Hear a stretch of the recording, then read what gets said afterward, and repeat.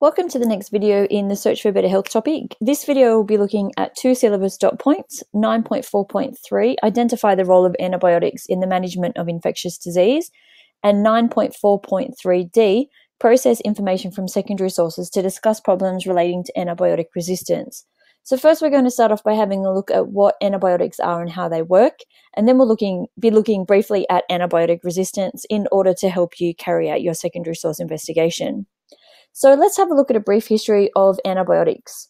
So, Alexander Fleming was a Scottish pharmacologist who was studying the effects of drugs on animal cells.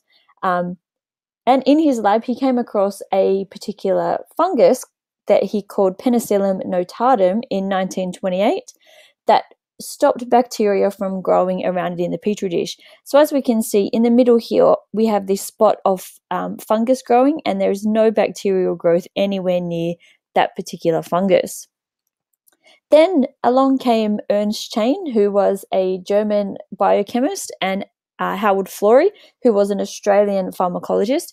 And in 1939, they developed a method to mass produce penicillin. And basically, what this meant was penicillin was able to be produced in levels that was then able to be shipped out, especially during the Second World War, and stopped a lot of soldiers dying from infections that they normally would have died of um, in the battlefields because they were suffering from mass infections that um, basically ate away at their systems and caused them to die.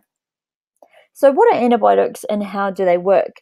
Antibiotics are different chemicals, so they can be natural, so created by microbes themselves, or they can be synthetic, so created in the lab, that are used to kill bacteria. They do not harm human cells as they only target bacterial cells that have cell walls. So, as we know, animal cells do not have a cell wall. So, that's why these antibiotics do not attack our normal everyday cells. The big thing to remember is antibiotics do not kill viruses. So, the common cold and the flu are viral infections, and antibiotics will do nothing to kill them. Okay, so when you go to the doctor with a cold or a flu and you ask for antibiotics, they're useless. It's not worth it. Okay, so how do antibiotics work? So, antibiotics work in a couple of different ways. So, firstly, they work directly by destroying the cell membrane of the bacteria. So, basically, by killing or destroying the cell membrane, obviously, then the cytoplasm leaks out, all of the cell contents also leak out, and the bacteria is killed directly. Secondly, uh, antibiotics can prevent cell wall synthesis.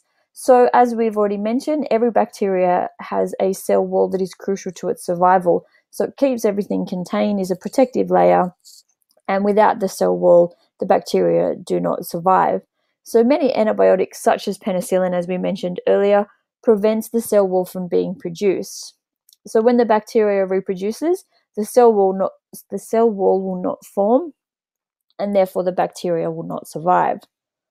The third way that antibiotics can um, kill bacteria is preventing protein synthesis. So we've talked a little bit about proteins in when we were looking at cystic fibrosis, and we know that proteins are coded for by um, by genes, and just like us, proteins are absolutely essential for bacterial survival. So antibiotics can act during protein synthesis to stop the DNA from being transcribed from DNA into the mRNA and then into the final protein strand. So we can see in the diagram at the bottom here that there's a change in the um, the ribosome. Okay, so the ribosome is the organelle where protein synthesis takes place. So if you have a change in the um, the recognition site where the codons um, come and match up the amino acids with the mRNA strand, we're unable to produce a proper protein strand. So we can classify antibiotics as well. Most of the time, they're classified into two very sort of simple to understand categories. So the first one is broad spectrum antibiotics. So these are quite general and work on many types of bacteria. So these are the types of antibiotics they use if you are in a serious accident in hospital, you're at risk of getting an infection because you have open wounds, etc. Basically, the first thing they will do is give you a broad spectrum antibiotic to try to attack any bacterial infection that may be taking place inside your system. Then, once they work out exactly what they're dealing with, they will then move into the second category, which are our narrow spectrum antibiotics. So these are specific in nature and they target only one or two very, uh, sorry, one or two different types of bacteria. So these narrow spectrum antibiotics are very efficient in killing those particular bacteria. And in particular, penicillin is a narrow spectrum bacteria. So the thing to remember is penicillin is not just one type of bacteria, it is a group of, uh, sorry, a group, one particular antibiotic. It is a group of antibiotics, and each individual penicillin um, mold or penicillin species is able to combat a particular bacterial strain. So the doctors they will carry out like our Koch's postulates. They'll take a sample, they'll grow the bacteria in culture, they'll work out what that bacteria is, and then they'll be able to pinpoint exactly what uh, antibiotic they're able to use to combat that. So we're not going to go too much into antibiotic resistance at the moment, but just to give you a bit of an idea as to what it is. So, antibiotic resistance is when an antibiotic has lost the ability to effectively control or kill bacterial growth. So, basically, the bacteria are able to continue to multiply even though the antibiotic is present. And basically, it renders the antibiotic useless. So, it doesn't matter how many courses of antibiotics you take, if the bacteria has become resistant to that particular antibiotic, it's no longer effective. And this can occur as a result of natural selection. So basically, how natural selection works with antibiotics is we have a massive population of bacteria to start off with. So, as we know, in order for disease to occur, we need a large number of bacterial organisms.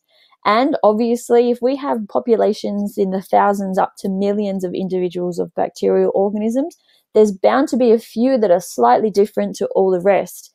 And what happens is these um, bacteria that are different as a result of a mutation of some kind actually are resistant to the antibiotics. So you take the antibiotics, and all of those bacteria that haven't changed die off. However, those couple are left. And as we know, bacteria are able to reproduce extremely quickly. So those resistant bacteria that are left then begin to reproduce, and eventually we have the same population as we did before, but now these antibiotics are useless because the bacteria that we now have are resistant to those particular antibiotics. This is a real issue at the moment because doctors are overprescribing antibiotics. As I mentioned earlier, antibiotics are useless against viral diseases, but people go to the doctors and demand that they have a um, antibiotic prescription given to them, even though they have a viral infection, not a bacterial infection. Another cause of um, sorry, uh, increasing resistance in bac- uh, antibiotic resistance in bacteria is the use of antibacterial wipes, hand sanitizers, all those things that the bacteria are being exposed to constantly, and now they're starting to become used to those different substances and beginning to develop resistances to those. And another thing is uh, people throwing their antibiotics in the bin after they haven't finished a course of antibiotics.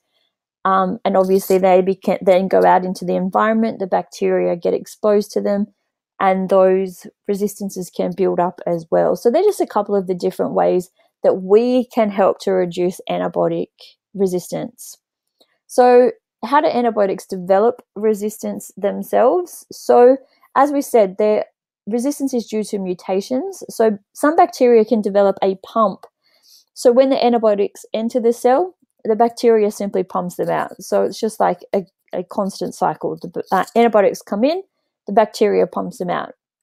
Secondly, uh, bacteria can produce enzymes that can destroy the bacteria, uh, sorry, the antibiotics, again, degrading them, making them useless.